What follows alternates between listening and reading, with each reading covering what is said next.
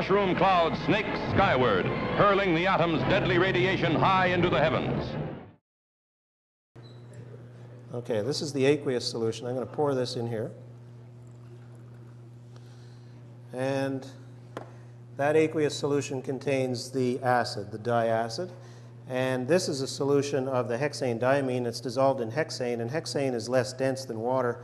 So this solution is going to float on top of the other one. And then where the two solutions come together, the interface between these two solutions is where this reaction is going to take place. How many fingers do I have? Anyway, here we go. Thought maybe these were gloves for another species. Here we are. Okay, so I'm very carefully going to pour this down the side, and then where the interface is, we'll have contact between the diacid and the diamino uh, hexane. And the hexane layer is floating on the top here. But of course, where they come together is where the polymer can be made, where the condensation reaction is happening.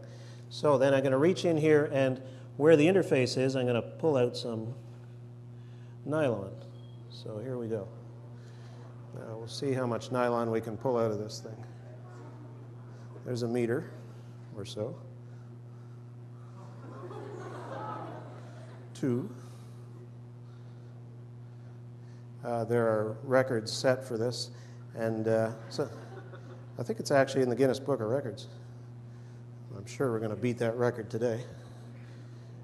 What are we at? Four? Five? Six?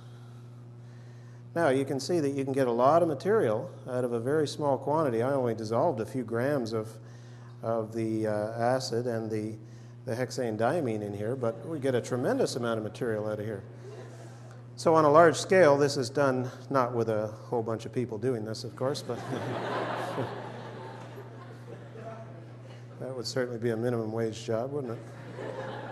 But this stuff comes flying out of a machine as a, as a thread, and it gets washed because this is actually an acidic, quite an acidic solution. It gets washed to remove the acid. It gets dried, um, and then it gets spun into uh, larger uh, collections of fibers. I don't know how long I'm going to do this here.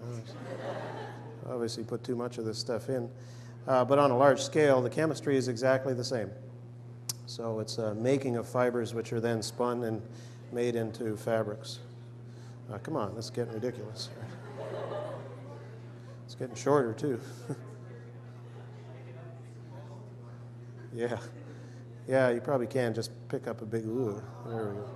Well, anyway, there's many meters there. You probably got 20 or 30 meters of this stuff. You wouldn't have expected it out of a little bit of solution. And on a large scale, they make much finer fibers as well, too. So they'd get miles of this stuff, or kilometers, I guess we have to say these days. So that's that's making that's making. Uh, ooh, it stinks too.